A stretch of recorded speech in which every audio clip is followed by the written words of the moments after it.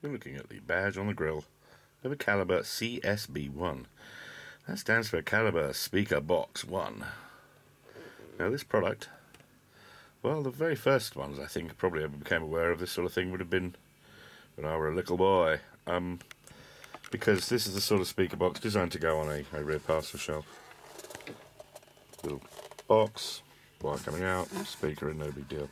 Except I've taken the screws out of this one to show you that what Caliber have done is really, in typical uh, Caliber fashion, kind of a bit naughty really, because they've, um, well, that's quite a big tweeter in there. That's a proper polyamide dome tweeter.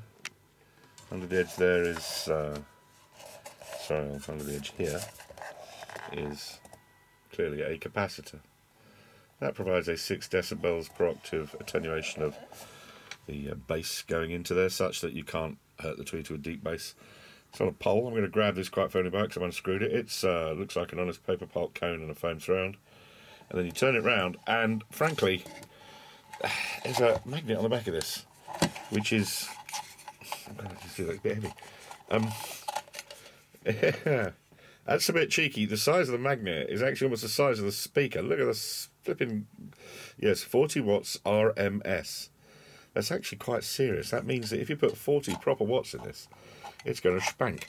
Now, the only thing is, is that the enclosure it's in, as you can see, is barely any bigger than the actual back of the speaker, which means that despite the fact that this will actually go bump, bump, bump in a small space, my sneaky suggestion for the clever installer is to actually uh, maybe cut the base out and use this as an ornament on the top of a slightly bigger parcely box hidden underneath your parcel shelf. Either way, um, I tried them on just a few watts with the CA75.2, which is a little 25 watt by 2 amp.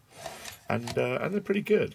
The bass that comes out of them is limited because of the cubic that they've got to work with. Um, I think you'd get more if you sealed them down well and if you uh, did put proper power into them, like, you know, a good 30 solid watts which uh, they'll handle with ease. So um, ridiculously inexpensive, cheeky little product, and uh, absurd value. And if you were to get these and one of those little uh, Bluetooth amplifiers, well, you've got you know disposably cheap speakers to throw into a classic without doing it any harm. Um, you could sew them down. Anyway, the whole point is that uh, tremendous value for money.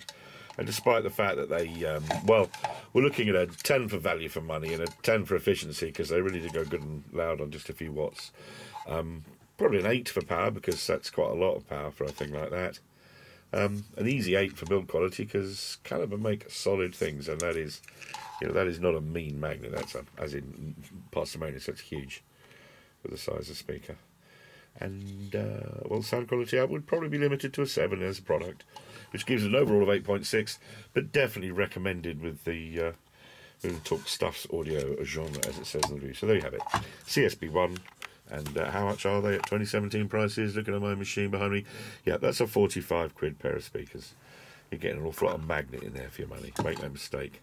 That is not. Um, I'll put it this way: there's a certain major chain store selling speakers from, you know, very low prices. But I'm, I'd put the fact that I'm not not thin on that this will outperform for the price anything available at that big chain store, and that's a fact.